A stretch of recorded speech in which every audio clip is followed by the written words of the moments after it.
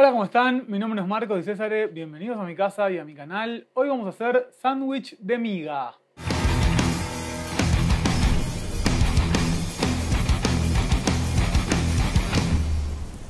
Lo más importante de un sándwich de miga y que un pan tenga una buena miga es usar leche. ¿sí? Así que en toda esta receta vamos a usar leche. Hicimos una esponjita, como hacemos siempre, un prefermento en el cual mezclamos una parte de la harina y una parte de la leche con un poquito de levadura. Después la receta va a estar abajo. Tiene huevo, tiene azúcar, tiene sal, tiene manteca, tiene algo que se llama tanzón. Que esto es, lo van a ver en la receta, leche y harina que se cocina en una ollita como una bechamel, como una salsa blanca, hasta que tiene esta textura cocida. ¿Sí? Todo esto, menos la manteca, lo vamos a amasar en una amasadora como esta.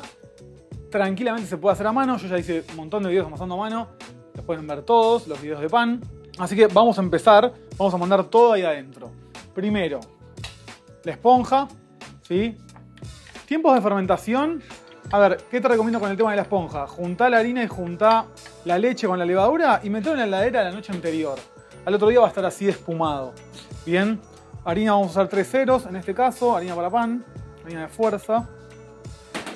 Sal y azúcar, ¿sí? coloración, humedad, sabor un huevo, ¿sí? grasa, color, proteína, bla, bla, bla, y el tanzón, que es esta mezclita que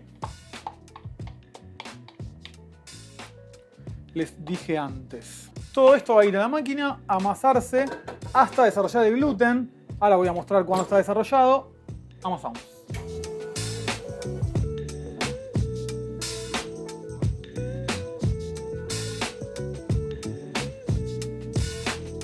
Ahí la masa estuvo un tiempo amasándose, no sé cuánto, porque también depende si la hacen a mano o a máquina, obviamente. Tienen que desarrollar el gluten, ahora lo voy a mostrar. Si ven cómo se estira y no se rompe, está como tensa. ¿Sí? Y lo que les quiero mostrar es, la voy a colocar en un tupper. Y esta es su hermana gemela. O sea, está más blanca porque al inflarse se aclara, pero quiero marcar bien el crecimiento que hay en bloque de la masa. ¿sí?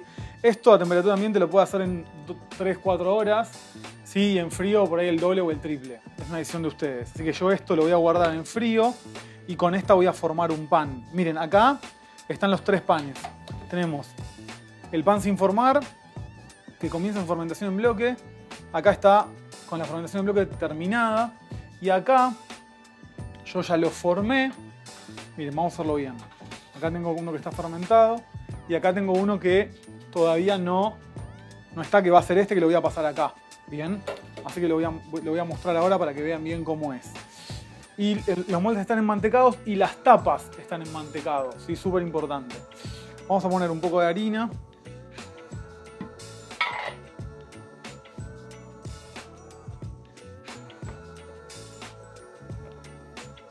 Y la clave de esto es tensarlo bastante, o sea, bien fuerte, para que esa miga sea lo más compacta posible, como son los clásicos sándwich de miga.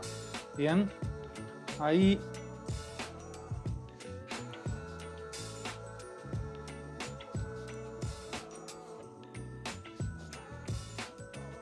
y lo más parecido al molde posible. Hay personas que cortan esto en cuatro y en vez de ponerlo así como lo voy a poner yo, lo ponen, lo cortan y lo ponen al revés, como uno al lado del otro. ¿sí? Es una decisión más que nada. Bien, entonces ahí bien, bien tenso, lo vamos a poner en el molde. Voy a aplastar bien, más que nada la parte del centro, que es la parte como que más, como que es una pancita. ¿Ven? Y ahí tienen el pan. Ven que es el mismo, el mismo tamaño que este, ¿no? Acá están las fermentación, o sea, iniciando su fermentación en bloque, recién el que tenía acá lo terminó y se, pasó acá. Y ahora ven la diferencia de crecimiento, ¿sí? Entonces le vamos a poner la tapa, es importante tener los moldes con tapa para que, primero para que crezca y, haga tope contra la tapa y no crezca más. Al no crecer más, esa miga queda compacta y me sirve para el sándwich de miga, ¿sí? Si vos no tenés estos moldes, bueno, lo podrías hacer igual, pero el pan va a crecer más y te va a quedar una miga más abierta. Y por ahí al ¿Por qué se hace todo esto? Porque si vos dejas que la miga sea más abierta, al rebanar finito, se te va a romper todo, se, desgrana. si de esta manera no va a pasar. Entonces cuando el pan llega a este tamaño, sé, 2, 3, 4 centímetros del borde, dependiendo de tu molde, horno más o menos 45 minutos, 180 grados, ¿ok? Vamos al horno. Miren, acá estoy cortando pan, ¿sí? Pan de miga. Eh, la clave de este pan es hornearlo un tiempo prolongado. Eh, ya hablamos de la tapa, de la presión que tiene que hacer. Salen así del horno, tipo, ven como este, como, un, pan lactal, pero bueno. Y a veces tiene una depresión pequeña, es por la presión que hace el pan contra el coso, después como que vuelve un poco. Lo importante es dejarlo un par de días enfilmado para que la miga esa se asiente. ¿sí? No, no, no puedes hornear y automáticamente cortarlo, porque la miga se te va a desgranar. Entonces, nada, lo que estamos haciendo ahora acá es cortando pan, simplemente, de lo más parecido a un, espesor de la miga, del pan de miga, que también se compra esa miga. Lo que pasa es que generalmente es un pan de baja calidad, ¿no? Tiene una fermentación, como todos los panes de este país, tiene una fermentación rápida, ¿sí? Son panes gigantes, en hornos enormes.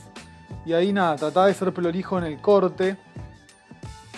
Y después te cuento bueno, en, muchas casas de estos sándwiches usan mayonesa. Yo hasta que no la haga en el canal no la quiero usar. Generalmente se usa mucho mayonesa. Voy a usar manteca con agua. ¿sí? Eh, más que nada porque la comercial me parece una verga y la casera puede llegar a tener salmonera y quiero analizar un poco el tema de pasteurizarla yo y todo eso. Ven cómo se corta y queda un pan re lindo, re parecido a un pan de miga tipo profesional. Odio que lo profesional sea como equivalente a que es mejor. No siempre. Bueno, entonces, vamos a reservar un segundo esto. Em, y vamos a hacer la manteca. La manteca es manteca común, a la cual le vamos a poner un poco de agua caliente, ¿sí? Para hacerla un poco más... De hecho, la manteca es una emulsión de grasa y agua. ¿sí? Nosotros vamos a aumentar, digamos, la cantidad de agua que tiene esta manteca. Eso es lo que es la manteca untable. Generalmente es eso, es manteca con más agua para que sea más untable.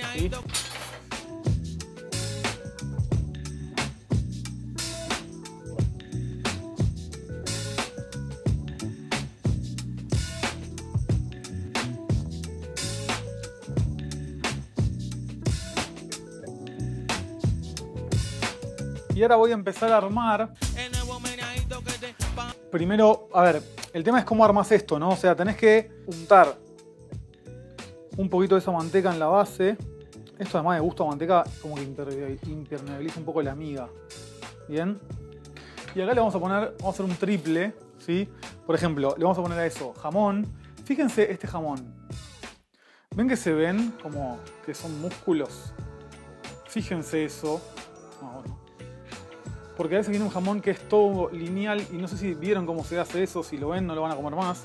Es agua, un líquido con colorante que se gelatiniza. Entonces ahí le puse jamón, una feta doblada. Ellos le ponen generalmente una feta por ahí un poco más gruesa que esta. Entonces en cada cosa que, toque el fiambre le vamos a poner manteca. ¿Sí? Ahí, otra vez manteca. manteca, manteca, manteca, manteca, manteca. Y ahí le vamos a poner queso. Este es un queso de máquina común. Le vamos a poner dos fetas porque es para nosotros, ¿no? Ahí vamos a doblar. Ahí. Y le untamos la manteca del lado que queda. ¿Sí? Y a ver, esto es un sándwich hermoso y perfecto, pero no se parece a los sándwiches de miga tipo que generalmente comemos. Sí, vamos a armar alguno de cada uno así para ver cómo van saliendo. Vamos a hacer otro de tomate. claramente esta receta la hicimos por el pan, ¿no? No por, no por, por el jamón y el queso que lo compramos. Vamos a cortar unos tomates, vamos a hacer todo así como bastante en vivo. Tomate perita, ¿sí? Ahí. Finito. Recomiendo fervientemente un cuchillo de estos a sierra para cortar tomates, un poquito de sal. Acá no le voy a poner manteca porque si no va a ser un chastre. Y le vamos a poner queso. Sí, que es como un clásico también.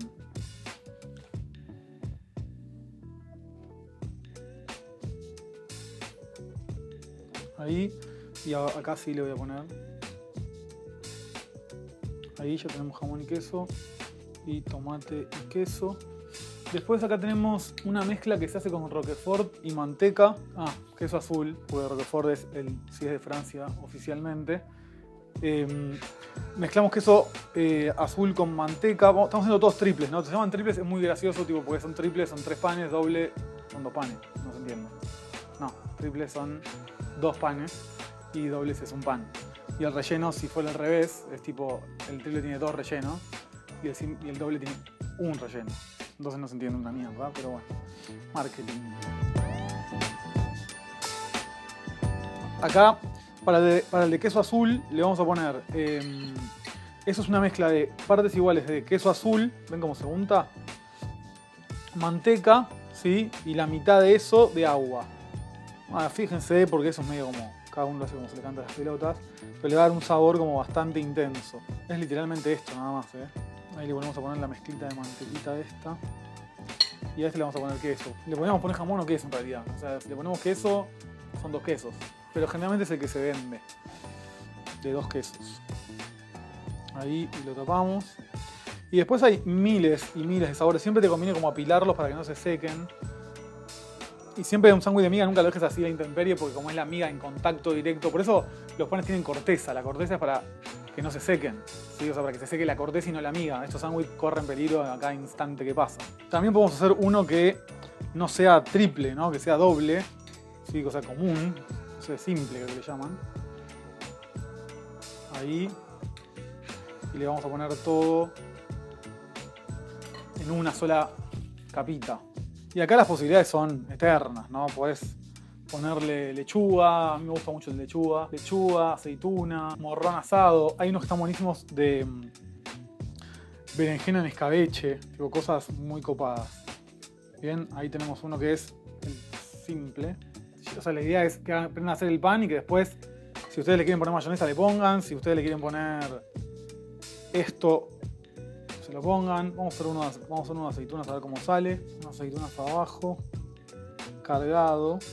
¿Sí? Generalmente todo lo que sea así como en pedacitos en la sanguchería tipo de miga se mezcla con algo, con mayonesa o con algún queso crema, algo para que, obviamente para que se una, ¿no? Y, y no se desarme todo una vez que lo cortan. Aceitunas y queso. ¿Le gusta el productor aceitunas y queso? Después puede ser huevo picado, que también el huevo picado se mezcla con algo para que tenga esa como textura. ¿sí? Si no, imagínate que se desgranaría todo. Ahí vamos con la mantequita. Bien. Y ahora que ya los tenemos todos acá, vamos a cortarles la corteza. Es una cagada por, por la venta, porque perdés un montón de producto, porque, a ver, si vos lo cortás antes de ponerle el relleno, por ahí, o sea, son planchas enormes que se cortan con un molde que viene con para meter el cuchillo según el tamaño, no sé si lo conocen, pero bueno, si después lo buscan por ahí. Pero bueno, de esta manera, tipo, la única forma de cortarlos es así, pero si lo haces en tu casa está buenísimo porque te lo comes comes el borde. A mí me gusta el borde, de hecho. Bien, entonces, vamos a cortar. A ver, por ahí un poquito de miga queda, ¿sí? Entonces ahí. Estos cuchillos son muy filosos. Hay que dejarlos como hacer su laburo, no, no hay que presionar. Hay que serruchar.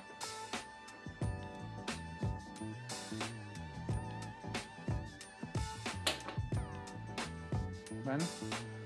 O sea, le voy a sacar un poco más para que...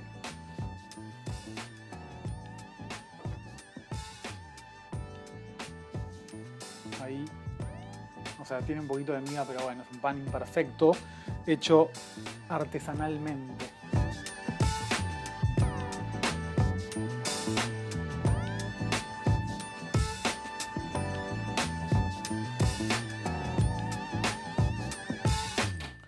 quedan chiquititos, pero bien, acá se ve el pan, pero bueno, es obvio que es imperfecto, me queda bastante parecido a la realidad. ¿sí? Los vamos a ir poniendo acá. Los voy a dejar con esas imperfecciones. ¿sí? Voy a ver si no las voy a cortar a la mitad ahora para que queden tipo triangulitos. Esto lo vamos a ir corriendo. Nada, y obviamente si te vas a dedicar a esto, hacer el pan es un re quilombo. Pero por ahí. Que tengo acá dos, porque me quedó el simple este acá. ¿Cuál tengo acá? Acá tengo roque. Nada, jueguen con esto a morir. Los generalmente los que son negros, que vos pensás que son más sanos, tienen colorante hasta la goma. Olvídate que tengan la integral. ¿sí? O si tienen, tienen un salvado por ahí agregado. ¿Ven? Ahí está el de roque. No se ve tanto, pero está ahí. Esa capita interesante de, de sándwich. Después nos queda, acá tenemos el, que es simple. Este va a ser como más fácil de cortar, obviamente. Si quieren ponerle ketchup, se llama Carlitos, en Rosario, por ejemplo, que debe ser el que lo inventó, un creador nato, ¿no? Le puso ketchup a un sándwich. Vamos con aceitunas, que es el que más miedo de cortar me da porque siento que se van a salir para todos lados.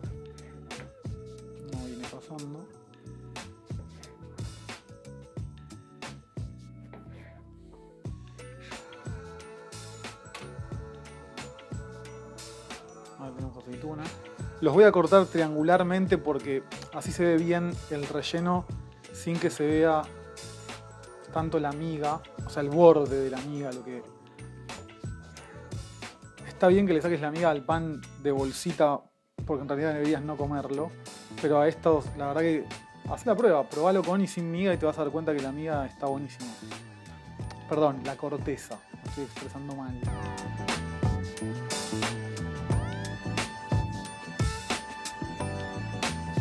Tenemos los sanguchitos, sí, no soy el mejor sanguchero del mundo. No sé cuántas veces hice esto, pero creo que pocas o creo que ninguna, alguna vez. Eh, pero mi idea es mostrar el pan, ¿sí? Y enseñarles, seguir enseñando con la cultura del pan. Acá tienen los sándwiches. Quiero que me comenten cuál es tu sándwich de miga favorito y dónde comprar el mejor sándwich de miga. Sí, si tienen info, pasen, porque yo la verdad que no sé, en Rosario conozco, pero acá no, en Buenos Aires, así que les eh, pido que me pasen eso en los comentarios. Espero que les haya gustado el video, ¿sí? traten de hacer todo lo más artesanal posible. Recuerden que las cosas que estamos comiendo tienen un montón, un montón, un montón de ultraprocesados que hay que empezar a sacar de nuestras dietas. Les agradezco mucho haber visto el video. Si les gustó, compártanlo. Hagan un montón de sándwich de miga, que esto es literalmente lo más caro que hay con respecto a hacerlo en tu casa. ¿sí? La diferencia es brutalmente mucha. Hacer un pan de esto vale muy poco y comprar un poco de fiambre o una verdurita que, comp que, comprarlo hecho, que los buenos son muy muy caros y la verdad que no se entiende mucho por qué. Así que gracias, eh, comenten, súmense a la comunidad, compren el libro, nos vemos en los próximos videos.